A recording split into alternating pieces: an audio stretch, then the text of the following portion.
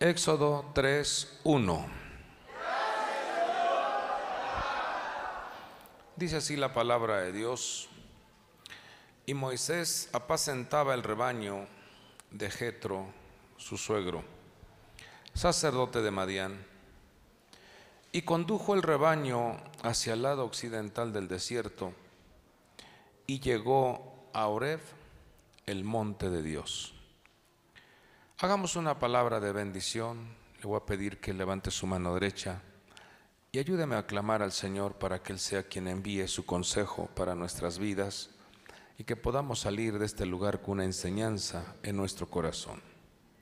Padre bueno, en esta hermosa noche suplicamos tu pronto auxilio, suplicamos tu hermosa gracia esté con nosotros, envía la sabiduría, la inteligencia y el conocimiento y que podamos, mi Dios, recibir un consejo, una instrucción en nuestras vidas y podamos poner por obra tu palabra, ya que anhelamos con todo nuestro corazón que tu hermosa presencia se establezca en vuestras vidas, que tu hermosa presencia se establezca en nuestros corazones, de tal forma, mi Dios, que seamos luz, luz en medio de las tinieblas, atrayendo la bendición del cielo a la tierra. Levante su voz y diga conmigo, Señor, yo quiero ser un conductor de las bendiciones del cielo a la tierra. Sí, Señor, te lo pedimos en el nombre poderoso de Jesucristo.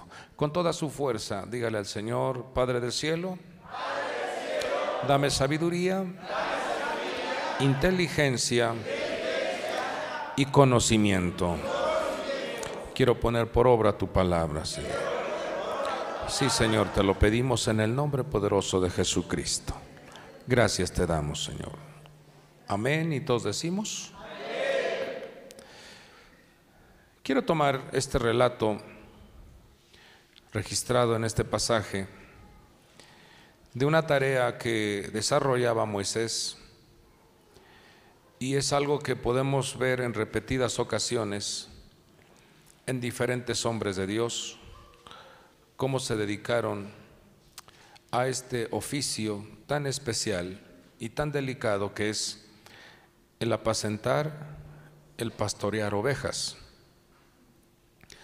Desde luego tomaremos este texto de una forma alegórica, porque usted se dará cuenta cómo el Señor a sus hijos como el Señor a su pueblo lo considera como ovejas. Él, mismo se presentó como el pastor, el gran pastor de las ovejas. Y nosotros somos ovejas de su prado, ovejas de su huerto, ovejas de su redil. Y vemos, hermanos, en este relato una tarea que se convierte en un compromiso muy especial, en un privilegio muy hermoso desarrollar esta, esta virtud, esta tarea. Pero vamos a ver algunas aplicaciones, vamos a ver algunos consejos que el Señor nos da. Por un lado, considerar cómo el Señor siempre prepara, cómo el Señor siempre levanta a alguien siempre el Señor abastecerá o proveerá a una persona que conduzca, a una persona que apaciente. Siempre el Señor proveerá para vuestras vidas a alguien que nos enseñe, a alguien que nos conduzca.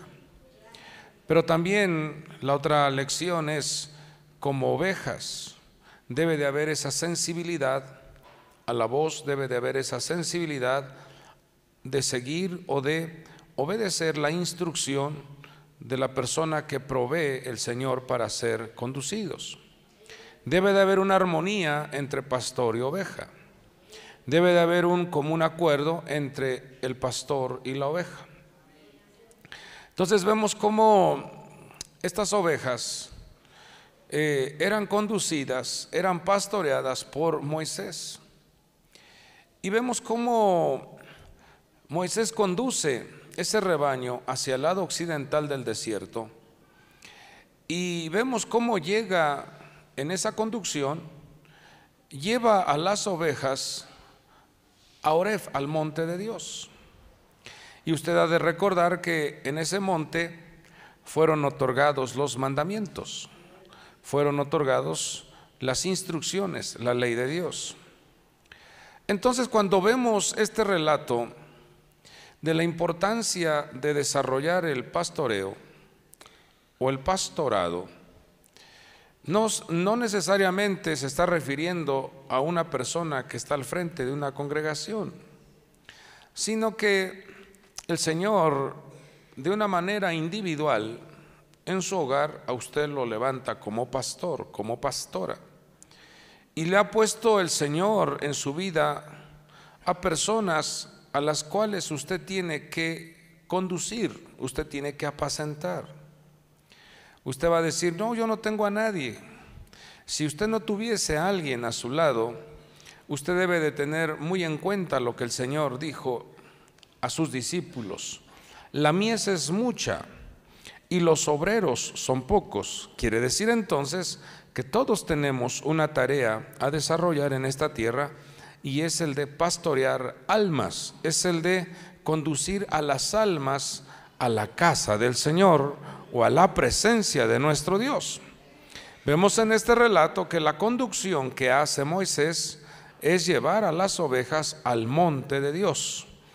Y usted se dará cuenta que en ese monte de Dios hubo manifestaciones sobrenaturales en donde el Señor de una manera muy especial habló a su pueblo y les dijo, yo soy el Señor vuestro Dios, que os sacó de la tierra de Egipto, de casa de servidumbre.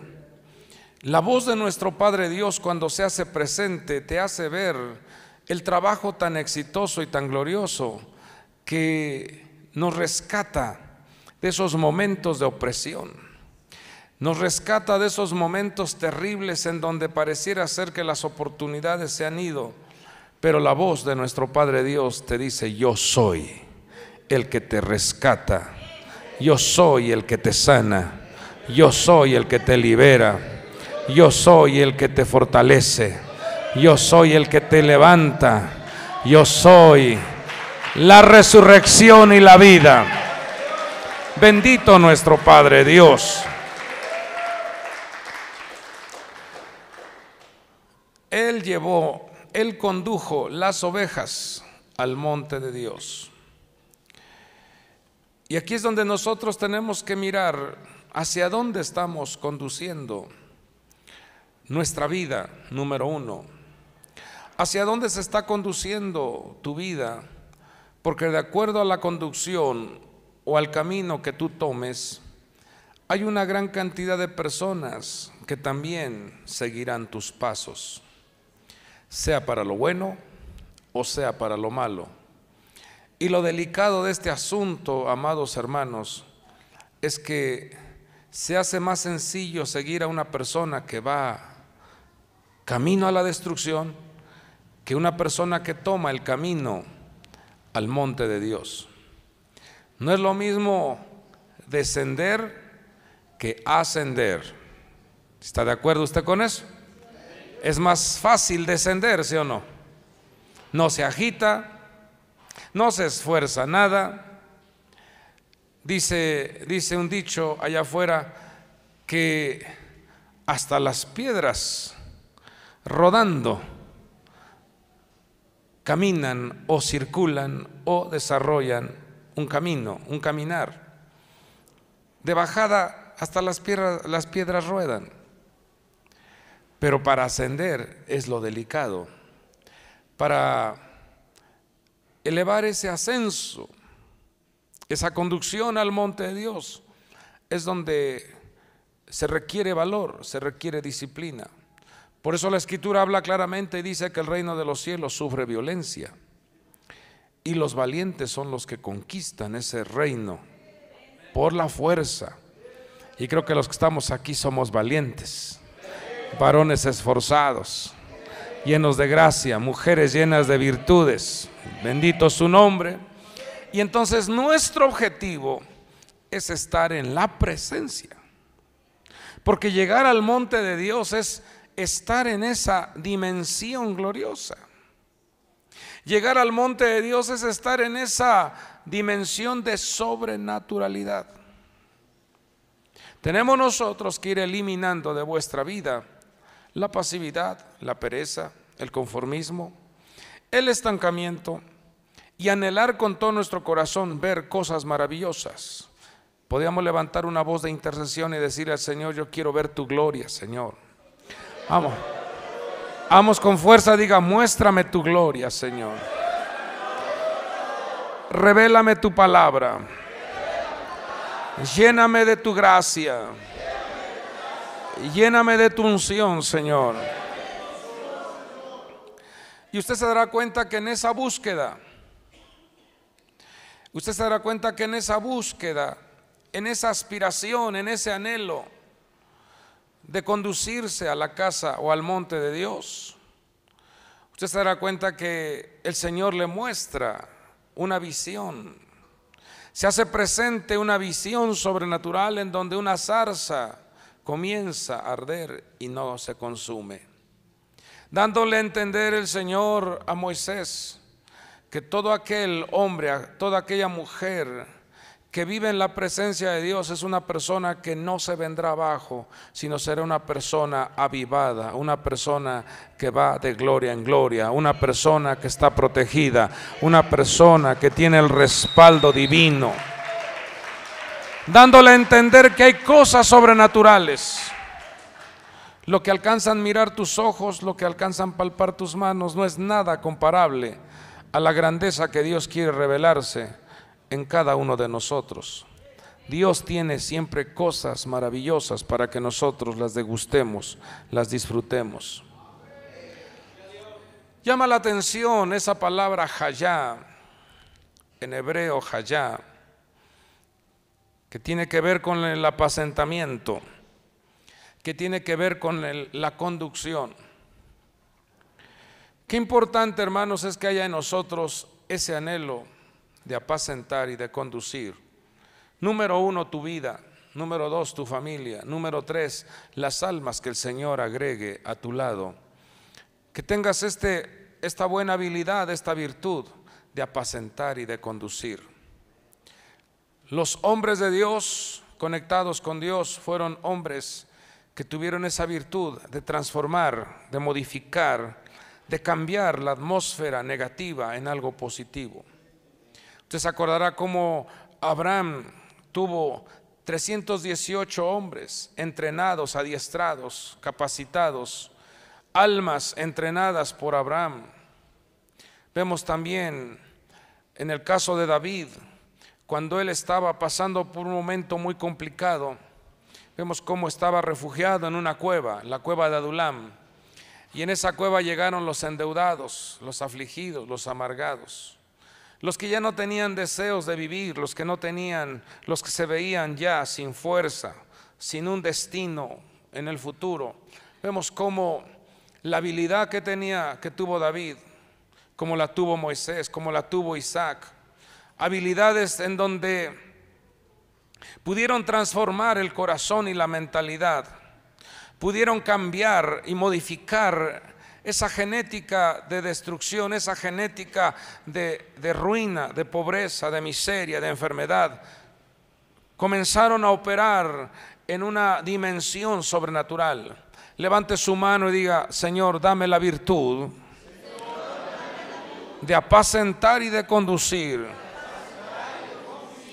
y entonces vemos cómo, hermanos, esa palabra Hayá representa esa dimensión de apacentamiento y de conducción, de tener un lugar, de tener un privilegio, un encargo, en donde tú activas el poder, en donde tú proclamas bendición, en donde tú conduces, respaldas para conseguir algo.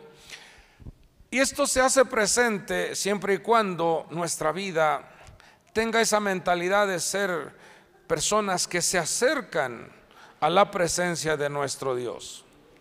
Una persona que se aparta de Dios, una persona que no hay ese anhelo, no hay esa aspiración, no hay ese deseo de estar cerca de Dios, es una persona que no será un buen conductor, que no será un buen pastor, una persona que se aparta del monte de Dios, o sea, de la instrucción, porque el monte de Dios representa las constantes instrucciones o las constantes revelaciones de los secretos que Dios otorga.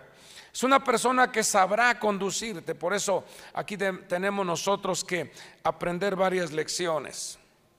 No toda la persona que dice soy pastor es un pastor.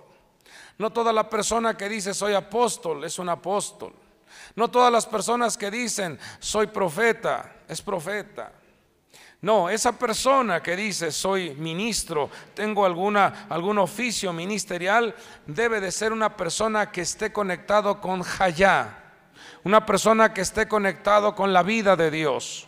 Una persona que, que, activa el andar, que te motiva a caminar, que proclama bendición, que te conduce, te respalda para conseguir un objetivo.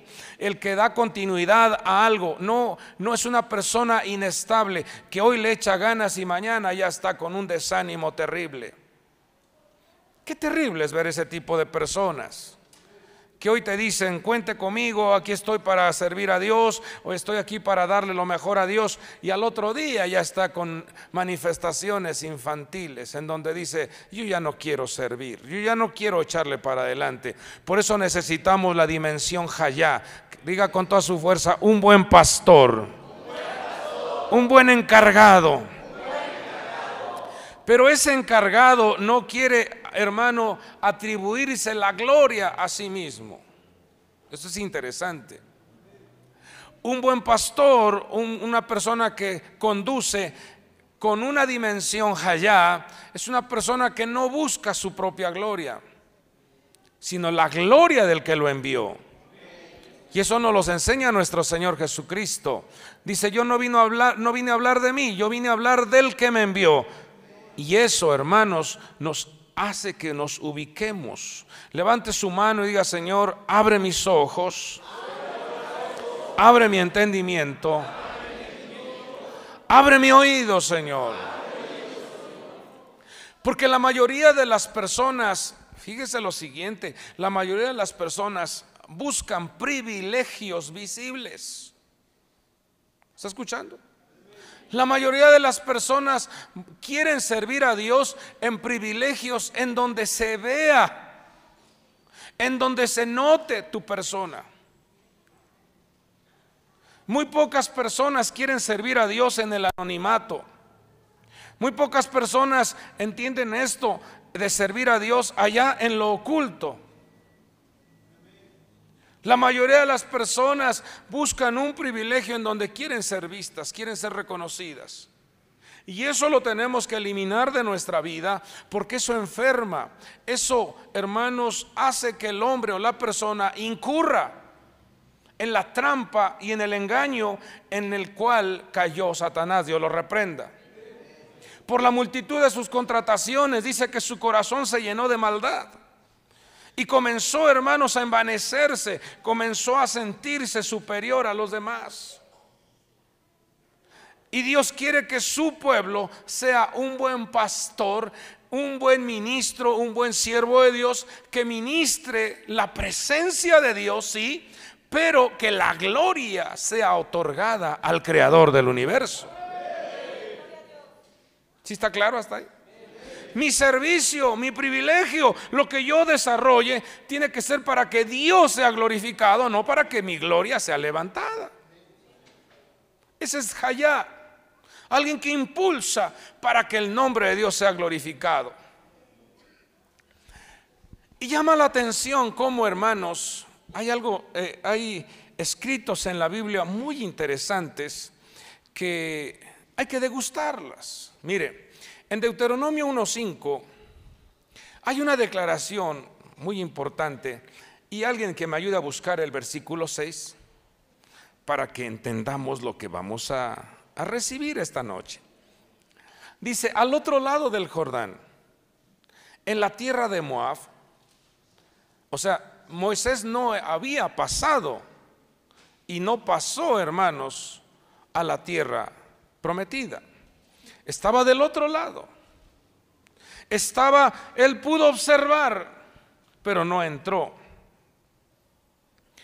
Ruego a Dios que nuestro Padre Dios nos permita siempre entrar, acceder al trono de la gracia. Que siempre haya esa experiencia de poder lograr estar cerca de nuestro Dios. Y dice lo siguiente, Moisés comenzó a explicar esta ley diciendo, ¿qué espera usted en el siguiente versículo? Si dice, esta ley es la que comenzó Moisés a explicar, ¿qué espera usted en el siguiente versículo? Pues una enseñanza, ¿no? Una, un discipulado o mandamientos o eh, principios o preceptos de Dios para que el pueblo los absorbiera, ¿sí o no? Si yo les digo, voy a comenzarles a explicar la palabra, ¿qué espera usted? Una explicación, una enseñanza. Y si usted se da cuenta, ¿qué hay en el versículo 6? El Señor nuestro Dios nos habló en Horeb, diciendo, bastante habéis permanecido en este monte. Fíjese, totalmente, si dice, Moisés comenzó a explicar esta ley diciendo, y como que esos dos puntos ahí se quedan en stand-by. Como que se quedan ahí, porque él nuevamente vuelve a recordarles una de las cosas que experimentó Israel al estar dando vueltas y vueltas a un asunto. ¿Están aquí? Tóquese su cabecita y di, ¿por qué estaré dando vueltas al mismo asunto? Líbrame, Señor. Vamos con fuerza, diga, la dimensión Hayá opera en mi vida. Bendito Dios. Hermanos, y Moisés les dice, miren, ustedes saben que estuvieron dando vueltas y vueltas y Dios dijo, ya basta. Ya basta de estar con el mismo asunto. Ya basta de estar dando vueltas y vueltas. Ya basta de estar con la misma actitud, con el mismo comportamiento. Ya basta de estar repitiendo los errores del ayer. Ya basta de estar estancado en los recuerdos del pasado. Ya pasó. El pasado no se puede arreglar, hijo. Ya pasó. Dios te permite un presente y en este presente Dios quiere obrar maravillosamente mostrando su gloria, su poder. Dios quiere manifestar, hermanos, una preciosa respuesta sobrenatural. Y entonces, hermanos, cuando revisamos el valor numérico de todo este texto, nos da un resultado de 2103. Y con toda su fuerza diga, ¿y eso qué representa? Pero hágalo así con, gran alegría para que yo le pueda contestar. 2103 es el valor numérico de todo este texto, Deuteronomio 1.5. Y usted sabe que para que haya una equivalencia o una respuesta a esa numeración, tenemos que buscar otro 2000 103 para que sea el contrapeso y podamos entender el significado de lo que está diciéndonos. ¿Está claro hasta ahí? Entonces, en ese mismo capítulo, capítulo 1 de Deuteronomio, en el versículo 13, encontramos la respuesta. Ese versículo 13, o sea, estamos avanzando ocho versículos más. Vamos, levante su mano y diga, Jaya. Porque ahí encontramos en esos ocho escalones la respuesta. Todo tiene una armonía en las sagradas escrituras. ¿Por qué no le damos un fuerte aplauso al Señor por la ministración de su palabra? Pero así con fuerza, dígale gracias, Señor.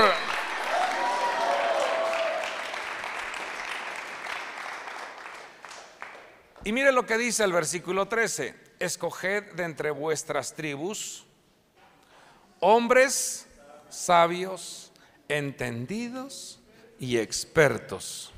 Y yo los nombraré como vuestros jefes. Esa declaración también tiene un valor numérico de 2103. Y ahorita lo vamos a explicar. Pero antes vamos a darle lectura en hebreo a este texto este contenido está hasta aquí, desde, desde aquí hasta acá. Démosle lectura con toda nuestra fuerza para que su lengua sea activada, su conciencia, su alma sea también generadora de cambios en su persona.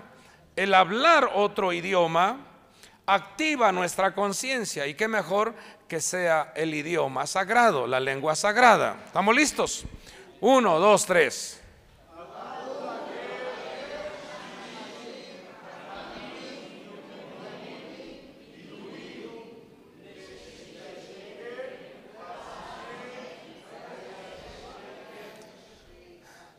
Hay muchos que llegan a decir, si apenas saben hablar el castellano y ya le están metiendo otra, qué mejor que activemos nuestra lengua, nuestra conciencia con la lengua de donde fluye la palabra. No es lo mismo tomar agua de un pozo donde está lleno, está estancada el agua y lleno de mosquitos a donde está el manantial, donde está fluyendo el agua.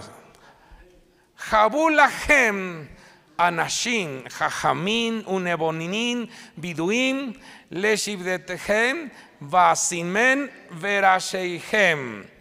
Ese, ese texto, cuando sumamos todos los el contenido de esas letras, nos dan 2103. ¿Qué nos está diciendo el Señor? Aquí hay algo bien importante que aprender. El Señor dice, la mies es mucha, hijos, y los obreros son pocos. Los pastores son pocos. Los que quieren desarrollar una vida de conducción, de dirección, son pocos. En esta vida, en esta tierra, hay una gran cantidad de personas que anhelan desarrollar esto, pero a su manera. Quieren ser pastores, quieren conducir, quieren liderar, quieren estar al frente de, pero apartados de la vida de Dios, apartados de la instrucción de Dios. Y aquí encontramos el siguiente, la siguiente enseñanza. Moisés comienza con una declaración diciendo, yo les voy a explicar la ley, pero él no iba a poder explicar la ley solito. Él no podía desarrollar esta tarea ante una gran cantidad de necesidad. Y hoy el Señor le trae una palabra a todos los que asistieron a esta reunión. Es grande la necesidad, es grande, hermanos, el trabajo en la obra de Dios, que una sola persona no lo puede hacer. Necesitamos hombres, anashim, aquí esta palabra hombres es anashim. Pero esos hombres deben de ser sabios, o sea, que tengan sabiduría.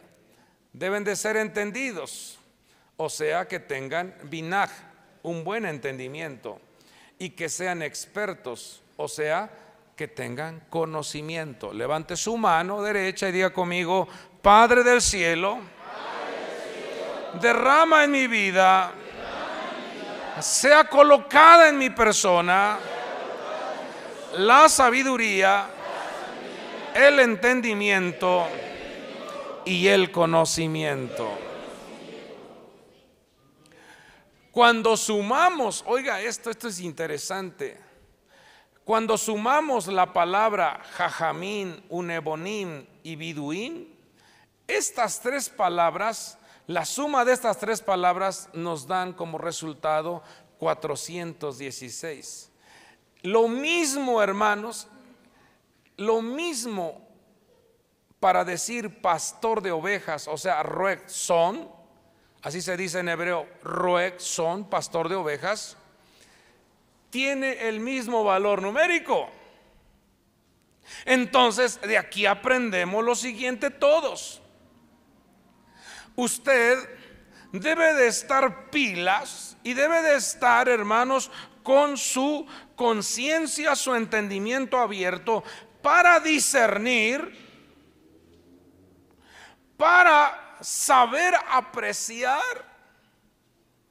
para saber detectar que la persona que se encargará de proveer un consejo, de proveer una, una bendición, de proveer una, una tarea o un respaldo a su vida, tenga estas tres características. ¿Están aquí? Cuando usted, hermano, solo se deja llevar porque tienen el título de, es que estuvo en el instituto fulano de tal, pero no tiene sabiduría, no tiene inteligencia y no tiene conocimiento, no es un buen pastor. Y lo que Dios nos enseña en esta noche es que usted le pida al Señor, dice, si alguno se ve falto de sabiduría, demándela a Dios. Porque si algo quiere Dios es que su vida, su persona esté, esté desarrollando un buen pastorado. No sé si me estoy a entender. Usted tiene que ser un buen pastor para que en sus manos le sean colocadas cosas delicadas y valiosas. Ame la sabiduría, ame la inteligencia y aprecie el conocimiento. Una vez más, levanta tu mano derecha y di, dame sabiduría, inteligencia y conocimiento. Cuando una persona desarrolla estas tres virtudes, absorbe. Cuando una persona anhela, aspira, y esto lo manifestó Moisés cuando se condujo, cuando condujo al rebaño y llegó a Oreb, el monte de Dios. Eso habla de que su persona no se conformó con cualquier pasto, no se conformó con cualquier experiencia. Él llevó a su rebaño al monte de Dios porque allí iba a encontrar él sabiduría, inteligencia y conocimiento. Y por ende entonces vemos cómo Dios toma su vida de este hombre y lo, y lo levanta para liberar a un pueblo cautivo. Y le otorga una vara de poder en sus manos, en donde a través de esa vara iba a experimentar grandes milagros. Levante su mano derecha y diga conmigo, pon en mi vida, Señor, todo el respaldo, toda la gloria, todas las virtudes porque quiero atraer bendición de los cielos a la tierra. Hermano, tu estancia en esta tierra no es para que solo vivas con una mentalidad de congregante, no. Tú estás en esta tierra porque eres un conductor de la bendición. ¿Están aquí? Tú eres un conductor de la bendición de Dios. Tu persona es un regalo de Dios para los que te rodean. Pero ¿qué está pasando con mucho pueblo cristiano? ¿Qué está pasando con mucho pueblo creyente? El pueblo creyente no está anhelando esta dimensión. No se acerca al monte de Dios. no paga el precio del esfuerzo por subir. Qué tremendo, hermanos, cuando uno comienza la escalada. Literalmente, cuando tú escalas un monte, tu respiración comienza a cambiar. ¿Sí o no? Tu, tu respiración se modifica. Las piernas comienzan a manifestar dolor. ¿Sí o no? El sudor comienza a aparecer.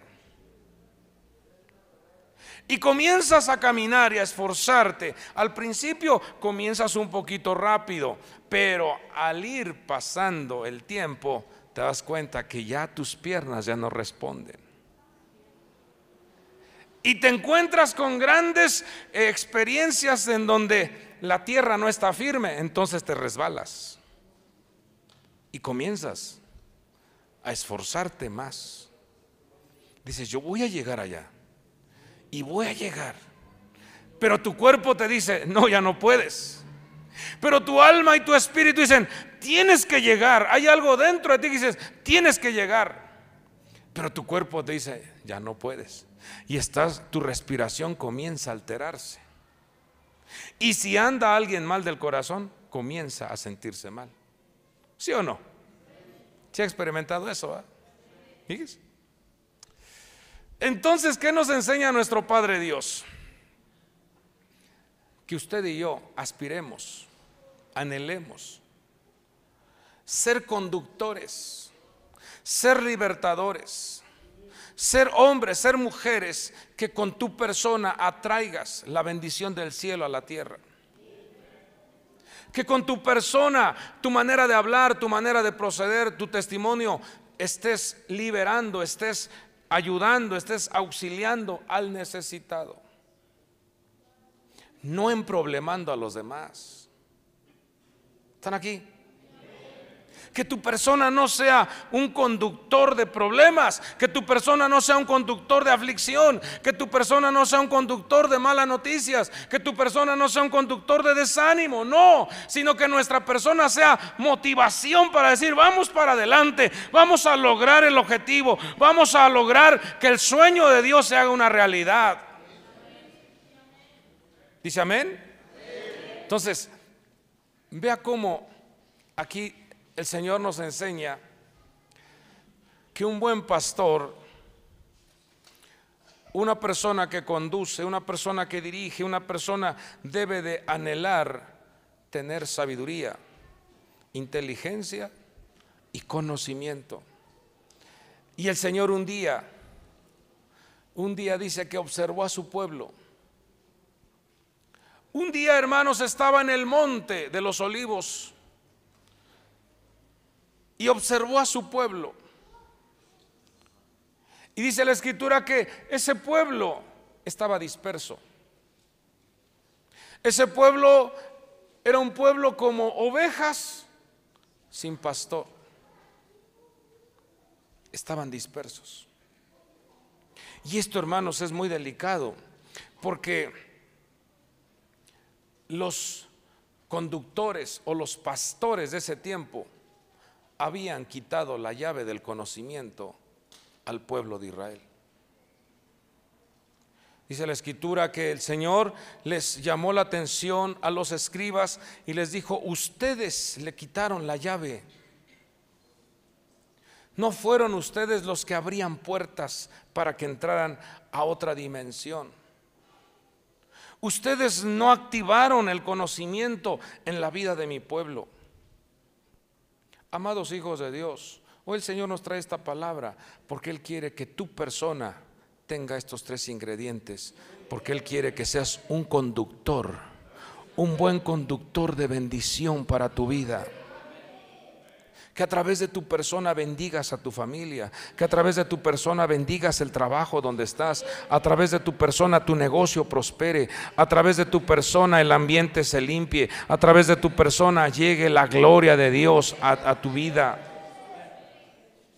Y que tengas ese anhelo, ese deseo de adquirir la instrucción que viene de parte de Dios. Esto que está aquí escrito en rojo, Leshiptehem, Basinem, Berashem, es lo que está escrito aquí, dice, y yo los nombraré como vuestros jefes. Esto, yo los nombraré como vuestros jefes, tiene un valor numérico de 970. ¿Y qué es 970? Hay dos pasajes en la Biblia que tienen ese valor numérico. ¿A quienes nombra el Señor o a quienes el Señor permite que sean conductores, pastores, ministros, directores, a quienes nombra el Señor en Levíticos 21, 23, dice que un conductor, un buen pastor, un buen conductor, una persona conectada a la vida de Dios, es una persona que no profanará los santuarios de Dios. Primer libro de Samuel 2.10. 970 también tiene este versículo, el valor numérico. Y dice que una persona que tiene sabiduría, Jodma, Bignad, Idaat, o sea, sabiduría, inteligencia y conocimiento, el Señor lo coloca, el Señor lo respalda, pero esa persona se encargará, mire lo que dice, el Señor juzgará los confines de la tierra, a su rey dará fortaleza y ensalzará el poder de su ungido. Es una persona que no busca su gloria. Es una persona que no busca nombramientos. Es una persona que no busca reconocimientos, sino que es una persona que se encargará de proclamar la grandeza y la fortaleza del Dios Todopoderoso. Es una persona que magnificará la gloria de Dios. Cuando a ti te dicen, oye, te está yendo bien, no, no, no sale ahí con la, la insensatez de, ah, es que mi negocio, es que mi esfuerzo, es que mi habilidad. No, dice, Dios es mi proveedor. Dios me ha dado esto, Dios me ha levantado, Dios se ha glorificado, Dios ha sanado, Dios ha provisto, porque todo proviene de Él. ¿A quién va a usar el Señor? ¿A quién va a tomar el Señor como un conductor de la bendición? A alguien que no profane sus santuarios. ¿Y qué es profanar el santuario? Aquel que le da cabida a su corazón a cosas vanas, porque tú eres templo del Dios vivo. Aquel que no permite que en su corazón se aniden odios, resentimientos, venganzas, vanagloria, orgullo, soberbia, todas esas cosas profanan el santuario, hacen que huela mal el santuario. Quiere levantar su mano derecha y, y, echar fuera todo aquello que no es de Dios. Vamos con toda nuestra fuerza, digamos, en el nombre de Jesucristo.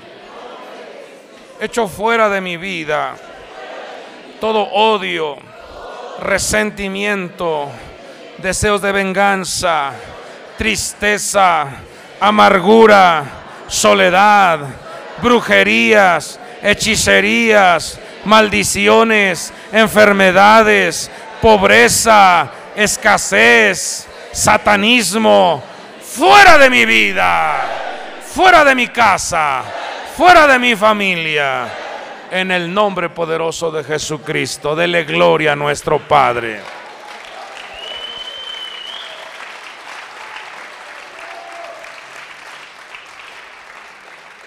Es una persona que cuida los límites, los linderos.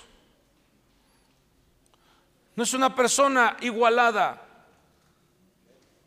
No es una persona que violenta linderos, falta respeto, deshonra. No, sabe los lineamientos, sabe hasta dónde, sabe hasta cuándo, sabe cómo hacerlo y no profana. Y número dos, es una persona que se encargará de elevar su alabanza y su gloria al Creador. Le va, a reconocer que es Dios el que merece toda la gloria. A esa persona, esa persona está preparada para ser un conductor de atraer las cosas del cielo a la tierra. Y por eso el Señor dijo, la mies es mucha, hijos, la mies es mucha. Y pocos son los que tienen esta conducta. Pocos son los que tienen esta observación. ¿Qué tanto es tantito ir a una iglesia católica? ¿Qué tanto es entrar? ¿Cómo que qué tanto? ¿Te estás contaminando? ¿Te estás dañando? ¿Qué tanto es tantito arrullar el niño Dios? ¿Cómo que qué tanto es tantito? ¿Acaso el Señor nació el 25 de diciembre? No, hijos. Pero note cómo, cómo el pueblo cristiano, aquí no, gracias a Dios, pero mucha gente todavía incurriendo en ese dicho, feliz Navidad y próspero año nuevo. Qué tremendo, hijos. Y eso contamina, hijos. Cuando miras las lucecitas, cuando miras el arbolito, cuando, mira, cuando escuchas la musiquita, te trae esos recuerditos y esa nostalgia de, ay, qué lindo, ay, qué lindo. Hermano, no se deje usted envolver en lo que es engaño. Guarde su templo, guarde su santuario, no lo profane, porque Dios quiere que tú seas un conductor de la vida, un conductor de la bendición. Dice amén. Cuando vemos entonces uno de los proyectos de Dios, una de las, uno de los anhelos de nuestro Padre Dios, lo encontramos en el Salmo 89, 15, y es una declaración hasta con signos de admiración, y le vamos a dar lectura con toda nuestra fuerza. Miren lo que dice, cuán bienaventurado es el pueblo que sabe lo que es la voz de júbilo. ¿Y qué dice más adelante? Andan, Señor, a la luz de tu rostro. Fíjese, hermano. ¿Qué es lo que el Señor quiere? ¿Qué es lo que el Señor anhela? Que el pueblo esté libre de la ignorancia. Que el pueblo tenga conocimiento de quién es su creador. Cuando dice, sabe lo que es la voz de júbilo, eso me habla de que esa persona camina en una gran libertad, en una gran ministración de salud. No es lo mismo cuando tú estás alegre a cuando tú estás preocupado. No es la misma fisonomía que pones, no es la misma actitud que pones cuando las cosas están bien que cuando las cosas están mal. Pero ¿qué nos dice el Señor? Cuando estamos a la luz, cuando caminamos a la luz del rostro de nuestro Dios, así venga la peor o más terrible mala noticia, en tu boca siempre habrá la voz de júbilo, porque tú dirás, si Dios es por mí, ¿quién contra mí? El Señor es mi pastor y nada me faltará. Dice amén. ¿De qué te tienes que preocupar si el Señor es tu luz y tu salvación? ¿Sabe cuándo tiembla la persona? Cuando está alejada de Dios. Pero cuando tú caminas a la luz de su rostro, ¿de qué vas a tener miedo? Si el Señor está a tu lado. ¿Qué te va a afligir? ¿Qué te va a amenazar si Él es el Señor de los ejércitos? El omnipotente. Pero note que tenemos que conocer esto. Dice, cuán bienaventurado es el pueblo. Está hablando de una congregación. El pueblo que sabe, con toda su fuerza, diga, dame sabiduría, inteligencia y conocimiento. Sabe lo que es la voz de júbilo. Andan, Señor, a la luz de tu rostro. Y Deuteronomio 1.33 dice, dice que nuestro Señor iba delante de vosotros en el camino para buscaros lugar donde acampar, con fuego de noche y nube de día, para mostraros el camino por donde debíais andar. Dígame usted, ¿qué nos va a preocupar si el Señor va delante de nosotros? Si tienes al Señor delante de ti y tú lo vas siguiendo, ¿qué preocupa tu vida? Pero lamentablemente, hijos, el Señor está en su santo trono y tú no haces el esfuerzo por acercarte al decir, Señor, yo quiero que tú dirijas mi vida. Y vemos aquí cómo el Señor coloca y provee a alguien que te conduzca, alguien que te ayude. Ponga el Señor, números 27, 16, ponga el Señor Dios de los espíritus de toda carne, un hombre sobre la congregación. Levante su mano y diga, yo quiero ser ese hombre, Señor, que conduzca, que apaciente que enseñe, que motive, que bendiga, que libere, que sea un ejemplo. ¿Y qué tiene que hacer ese hombre? Dice, que salga y entre delante de ellos y que los haga salir y entrar a fin de que la congregación del Señor no sea como ovejas que no tienen pastor. ¿Se da cuenta? El proyecto de Dios es que tú estés conducido, pero también el proyecto de Dios es que tú conduzcas. Vamos, profetícese ahí en su hogar, dígale, Señor, que en mi casa haya un hombre, haya una mujer que salga y entre delante que nos haga salir, que nos haga entrar, que nos enseñe, que nos capacite, que nos entrene, que nos motive para ver tu gloria. ¿Sí está claro? Dios quiere que tú seas un conductor. Dios quiere que tú seas un hombre, una mujer de Dios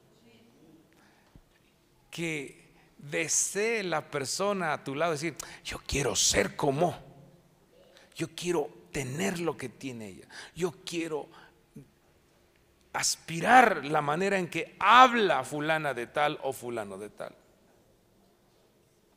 Que sea una delicia tu persona. Vamos, tócate tu vientre y di, quiero ser una delicia. Pero fíjese hermanos que en los tiempos de Acab,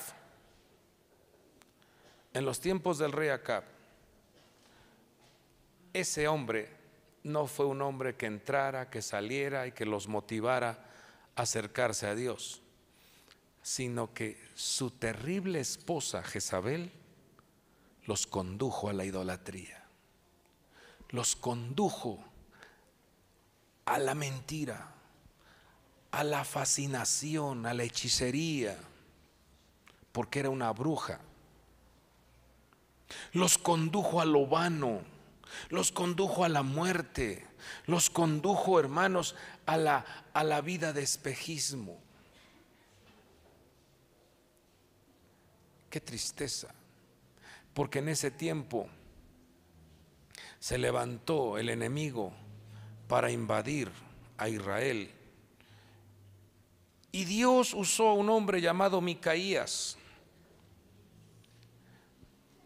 Este hombre Acab, el rey Acab, tenía profetas que, le, que eran comprados o pagados, más bien, Acab les pagaba.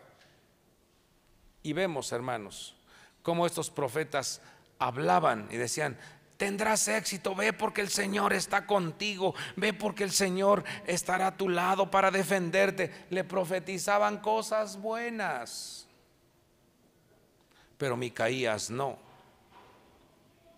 Entonces, el otro rey, el rey de Jerusalén, Josafat, le dice, no hay otro profeta. No hay un profeta de Dios, un conductor de Dios, un conductor que reciba la instrucción de Dios.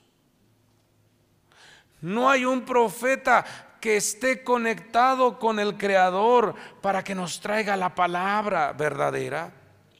Dice, ah, sí, dice acá, ah, sí. Hay un hombre llamado Micaías, pero ese no profetiza lo bueno. Ese profetiza puras desgracias. Y Josabá dijo, pues tráiganlo. Porque Él nos puede dar un mensaje para conducirnos si Dios nos va a dar la victoria o no nos dará la victoria. Y cuando van por Micaías, Micaías le dice, él pregunta, ¿qué es lo que han profetizado los demás profetas? Pues pura victoria, puro éxito, pura prosperidad. Y entonces Micaías dice, pues yo le sigo el juego a estos. Dice, di la palabra. Dijo, así dice el Señor. Sal a la guerra porque Dios te va a respaldar, te va a ir bien. Pero no estaba diciendo, hermano, lo que Dios había dicho, porque ese hombre estaba amenazado de muerte. Hasta que Acab dijo, ¿por qué tienes que mentirme, Micaías? Dime la palabra que viene de parte de Dios. Y mire lo que le dijo. Y él respondió, vi a todo Israel esparcido por los montes. No dice por el monte de Dios, diferentes montes. El pueblo divagaba buscando soluciones, satisfacciones en diferentes montes pero solo es un monte, el monte de Dios. Vi a todo Israel esparcido por los montes, como ovejas sin pastor. Y el Señor dijo, estos no tienen Señor, que cada uno vuelva a su casa en paz. ¿Qué mensaje le estaba dando Dios a ese rey? Que no había un hombre, que no había un hombre Hayam, que no había un hombre con sabiduría, inteligencia y conocimiento. Y estaba haciendo que todo un pueblo se fuera tras otros montes. Pregúntate a ti, ¿seré un buen conductor? ¿Seré un buen pastor? ¿Estaré dirigiendo bien mi vida? o soy como oveja sin pastor. Qué tremendo, hijos. ¿A dónde te has conducido? Porque el Señor te trae esta palabra en esta noche. ¿Por dónde te has conducido y a quiénes has arrastrado en esa conducción? ¿Por dónde has caminado?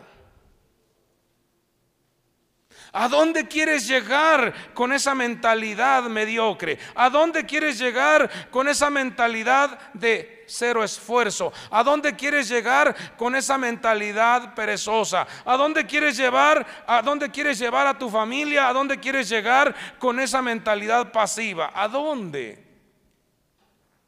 ¿A terminar como Acab? Siendo invadidos por una terrible estructura jezabélica. Dios no nos llamó para eso. Dios quiere que nosotros aspiremos, anhelemos el conocimiento de Dios. Digamos, Señor, yo te quiero conocer más, quiero saber más de ti, quiero conocer más de tu palabra, quiero que tú me hables más. Yo quiero que tú, Señor, te muestres de una manera sobrenatural. Y entonces el Señor mostrará quizás una zarza.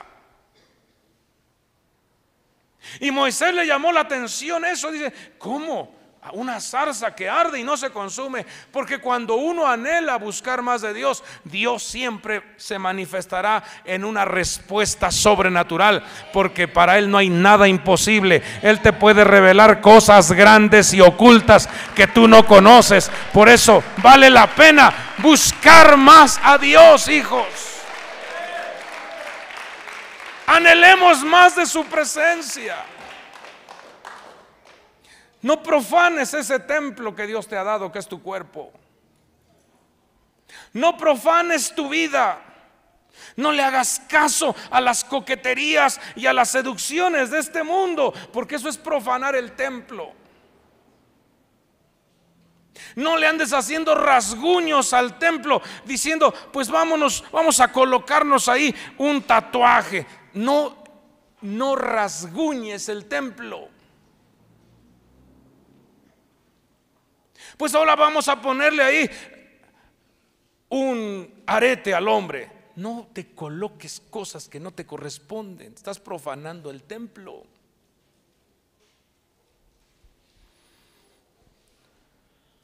Eso fue en los tiempos de Acab. Y llega mi Señor Jesucristo a la tierra y se encuentra también con los pastores de ese entonces. Dice que vio a las multitudes y tuvo compasión de ellas porque estaban angustiadas. ¿Cómo se encontraban?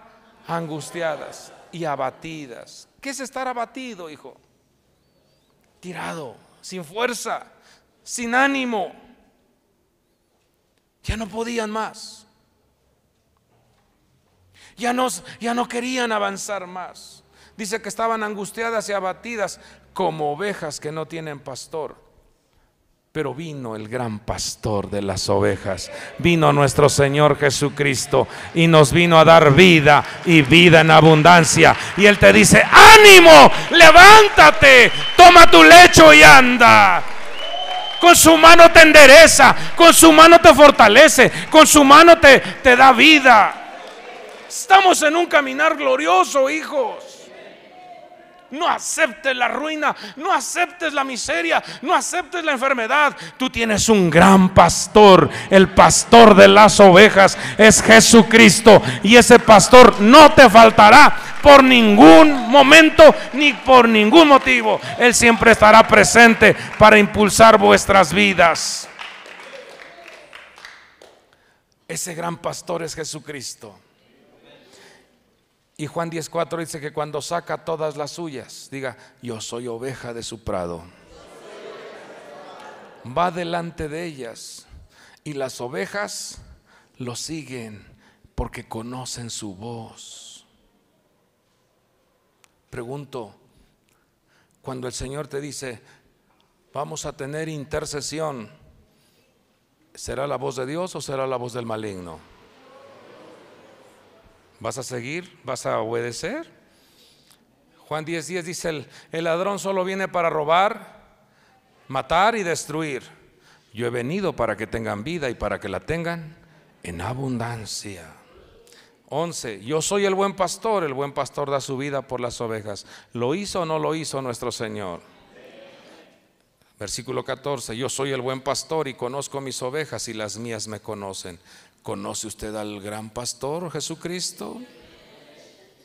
¿No será que todavía tienes unas escamas en los ojos y por eso te la pasas de peleonero con los hermanos y las hermanas?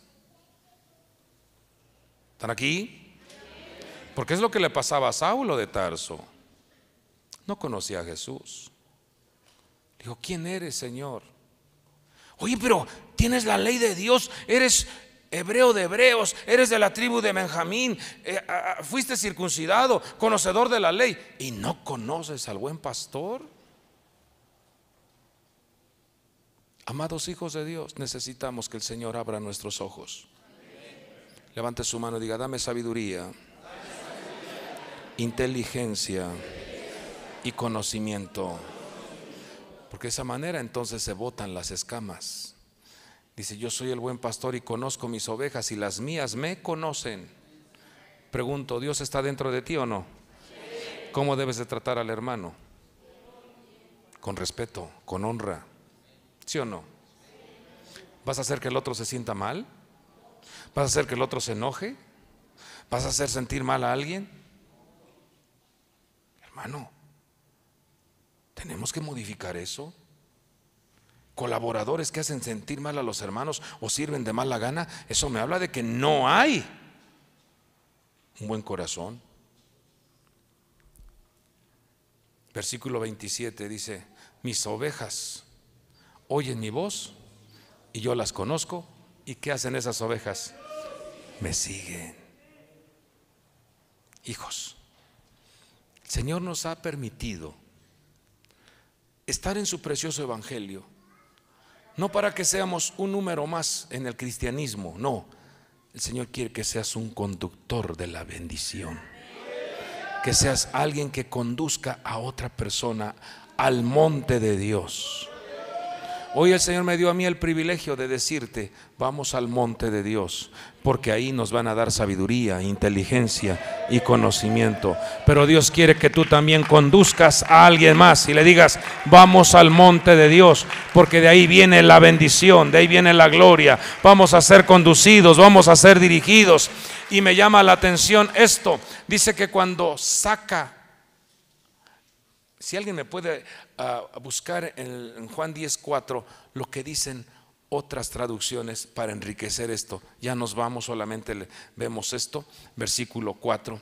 Dice que cuando Él, cuando Él las impulsa, cuando Él las, las motiva, en diferentes traducciones, ¿qué dice? Y cuando ha sacado fuera todas las propias, va delante de ellas y las ovejas le siguen porque conocen su voz.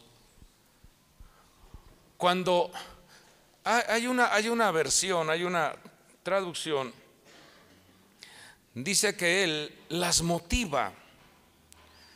Cuando anda usted allá afuera, en la calle, desarrollando sus actividades, sus negocios, sus proyectos, qué importante es, es que el buen pastor conduzca vuestra vida. Qué importante es que Él te motive.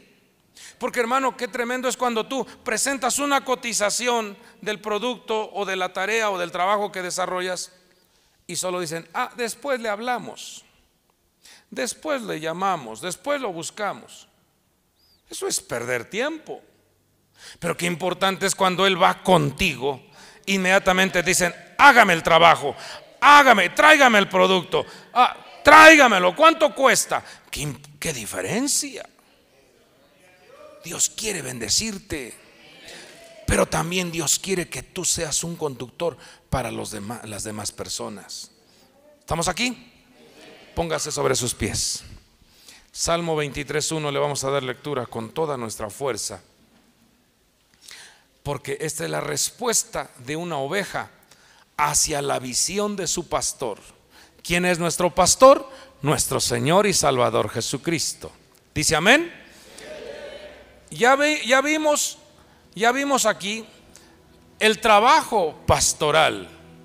Él te saca, va delante de ti, Él te habla, Él te da vida y vida en abundancia, Él da su vida por ti, Él te conoce, Él te respalda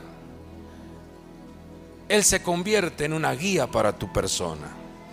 Pero ahora veamos la respuesta de una oveja hacia su pastor. Con toda su fuerza, declare este Salmo 23, porque nuestro Señor Jesucristo, el gran pastor, se hace presente para que tu alma, tu vida, tu cuerpo, tus provisiones, tus bienes, tus tareas, tus proyectos sean respaldados por Dios. Vamos a darle lectura con toda nuestra fuerza. Salmo 23, 1, 2, 3.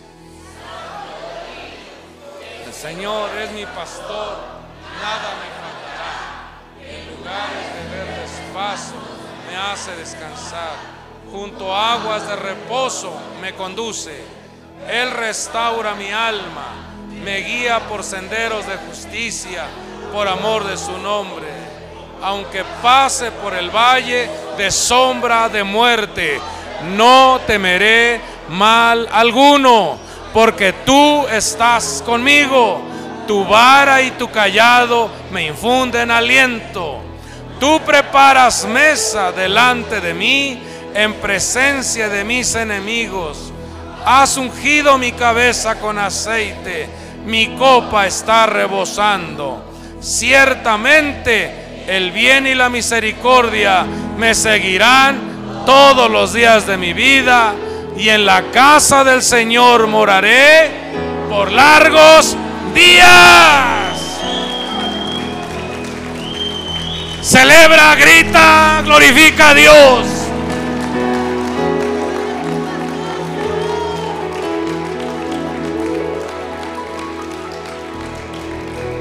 Padre del cielo, hemos dado tu palabra, Señor. Hemos dado tu instrucción. Hemos dado, Señor, el consejo que tú nos diste para tu pueblo. En esta hermosa noche, Señor, sea activada en la vida de tus hijos la sabiduría, la inteligencia y el conocimiento. Sea activado en la vida de tu pueblo, Señor, el anhelo, el deseo de acercarse al monte de Dios. Que en cada uno de tus hijos se muestre ese deseo de tener experiencias contigo. Bendícelos. Bendícelos. Bendícelos, mi Dios. Toma sus vidas para que sean, Señor, buenos conductores de tu gloria. Que nuestra presencia en esta tierra libere, sane, alegre, conduzca, dirija, levante, anime.